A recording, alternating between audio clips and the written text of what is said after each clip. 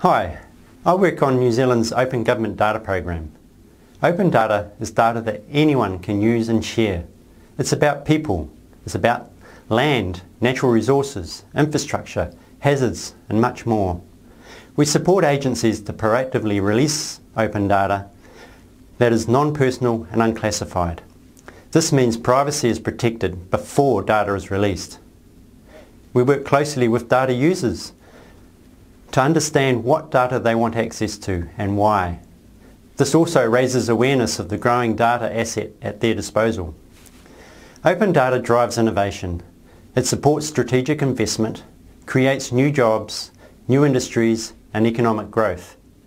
New Zealand has signed up to the International Open Data Charter, which reinforces the government's expectations on agencies to proactively release data.